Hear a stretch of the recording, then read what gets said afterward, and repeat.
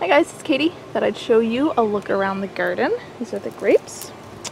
And I'll show you what's going on over here.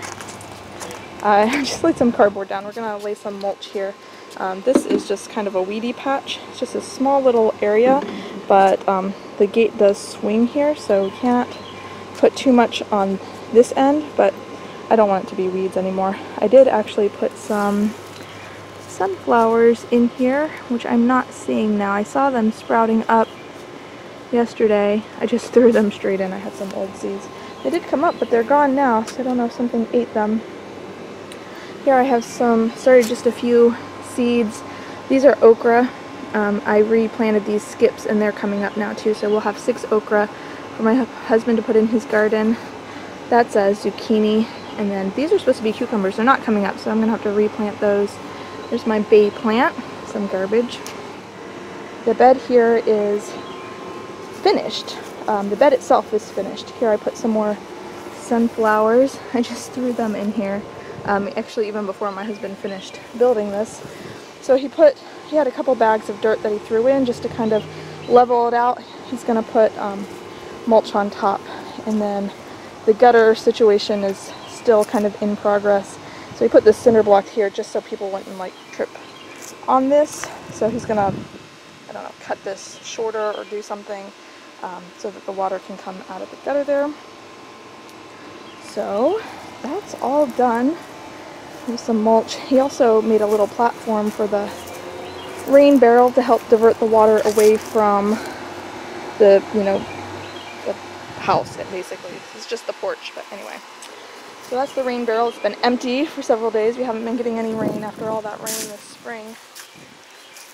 So here's the little one's garden. I need to come out here and clean out. There's still some random radishes like this one is already flowering. I need to pull that out. And something's eating all the cruciferous vegetables. It's getting kind of hot for them anyway. Um, but I do have some Swiss chard in here. So Swiss chard there and there. It's not, it doesn't seem like it's growing all that much. And then the kale still going to seed and some kale here. Show you my husband's garden. He put some things in. He's been watering it by sprinkler because sometimes he comes home a little late and it's just a little easier for him. So there's something growing here. He put weed block down, so I don't know if this came with the mulch. Looks like some sort of squash or cucumber. Back up, please. And then back here he put his um, asparagus. He did get some watermelons from a fundraiser thing at the school.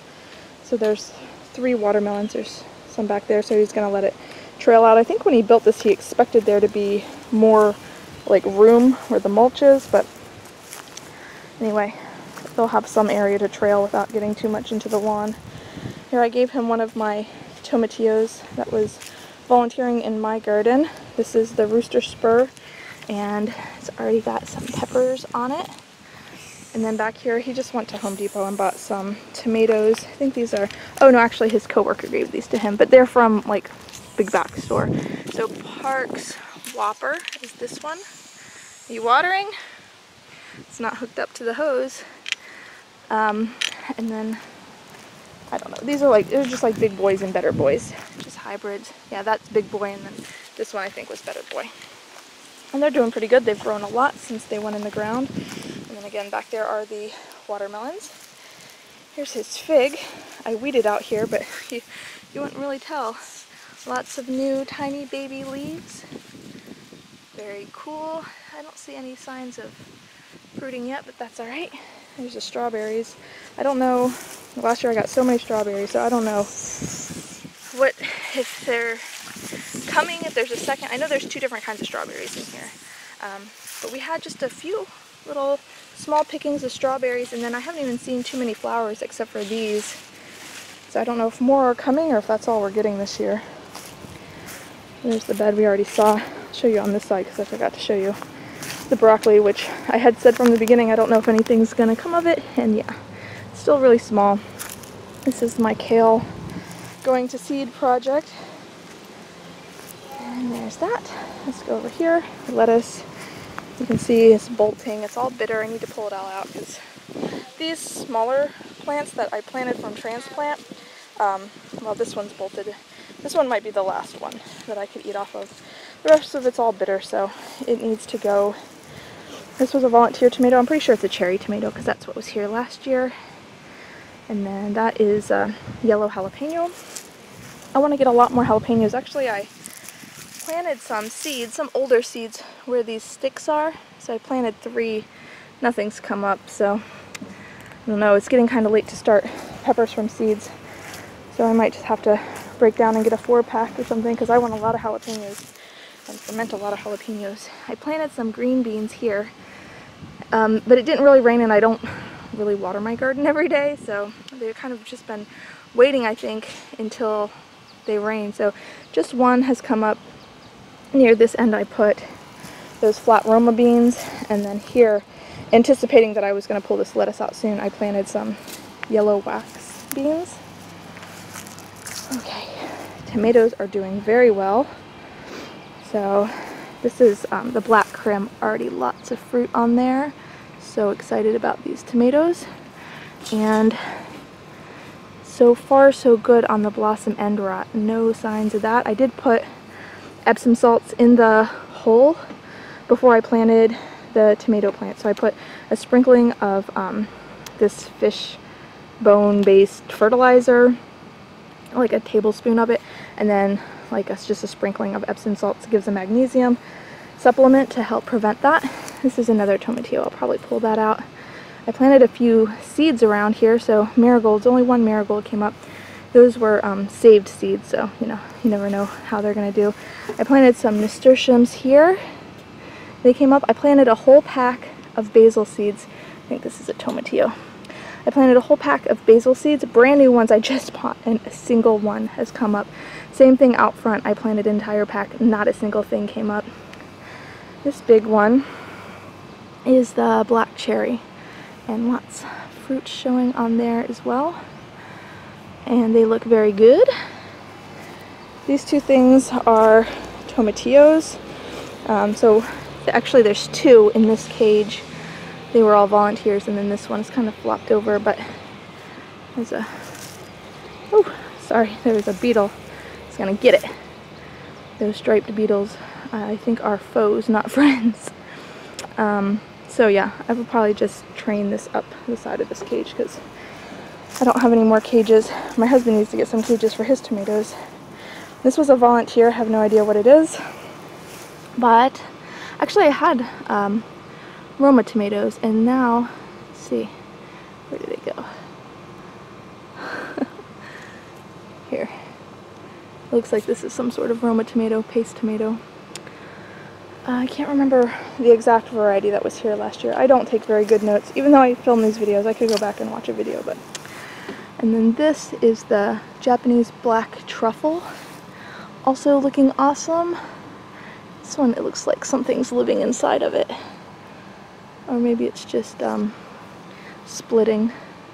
There's lots of fruit down there. And so far so good on the, you know, the yellowing leaves or any sort of fungus or blight on the lower leaves. I should probably take these lower leaves off. Some dandelions. And another tomatillo. Looks like birds sit on these um, cages and then that's why there's all this bird poop.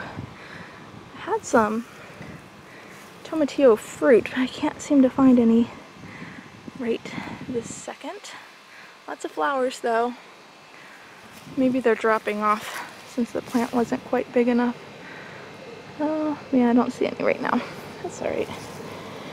There's the garlic. Starting to fall over, which means it should be time to harvest soon. But I'm not seeing any scapes, so I don't know. Maybe I won't get scapes.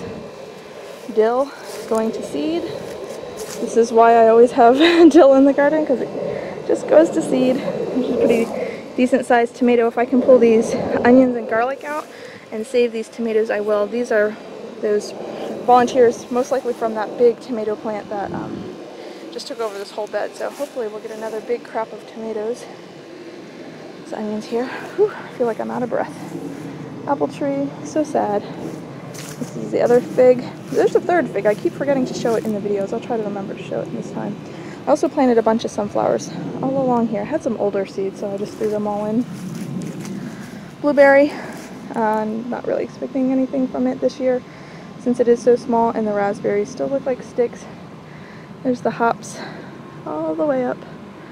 Uh, let's see, there's five strings and four of the five are already at the top. So lots of hops. And then show you the Concord grapes. And my husband's been spraying a fungicide, um, but it still looks like there's some spots on the leaves, but let's see. I think that's everything going on in the garden. Horseradish isn't looking so great up there. And the mint, I'll show you the mint bed.